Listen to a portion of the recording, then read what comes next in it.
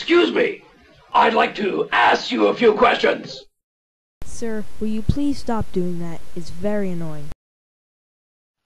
You!